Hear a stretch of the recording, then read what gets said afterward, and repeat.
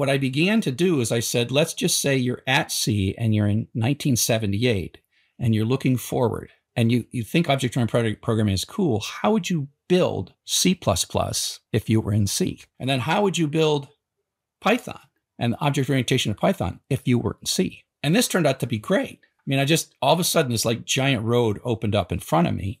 And the That's last right. the last few parts of the class are literally implementing dictionary, string, and list, the core data structures of Python. And so we look at Python code and then we implement in C the kinds of things under the covers to implement the list object, the string object, and the dictionary object.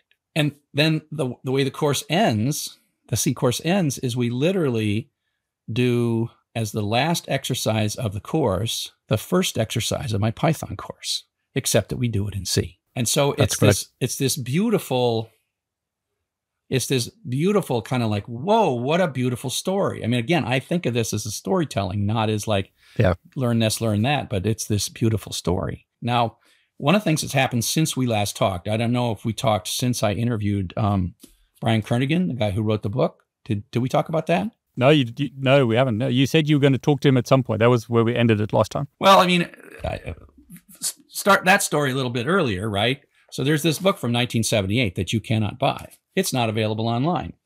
So the re- part of the reason it took me four years to make it is the first two years I basically stole the book. I bought a bunch of used copies of the book. I cut off a spine of the best one. I digitized it at high level and I OCR'd it. And then I put all that stuff in GitHub and I hired a bunch of graduate students to go over line by line, fix every single thing to make a cool online version of this. And I made all the uh, code executable and I made all the all this stuff and I built this book without ever knowing if I was going to get in trouble. And so a large part of the four years was talking to lawyers to see could am I going to get in trouble for what I just did.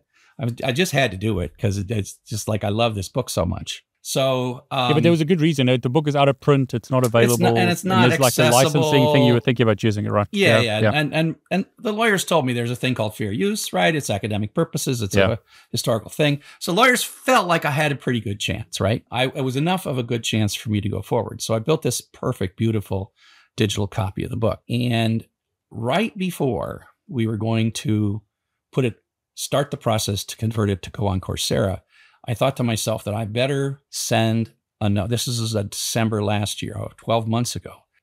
I better send a note to Brian Kernighan because even though my lawyers said that we would fight them and I had a good case, I did not want to offend uh, someone who I considered like a god, right, in the in computer science. So I yep. sent a note December of last year.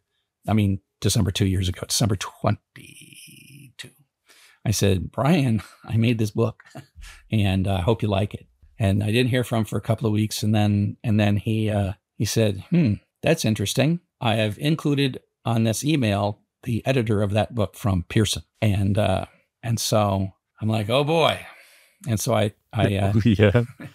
and so I, I, I, I, replied to the email and I sent a note to Gary, the fellow Pearson. I said, Gary, I love this book. It's a great book. I'm using it under fair use. Da da da da da da da da da. I think it's a good thing and people are going to love it. And I love the 1978 edition. And, da, da, da, da, da. and Gary said, Could we get together on a Zoom call? And I'm like, Oh, damn.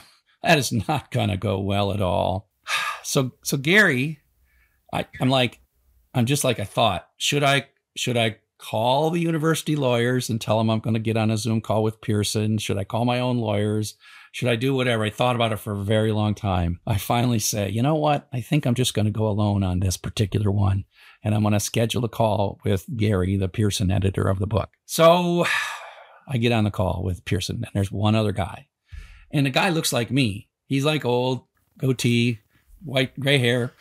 And he says, the first thing out of his mouth is like, "Man, I love what you did with the book." I'm like, oh, "Okay, this is not going to be oh, so bad.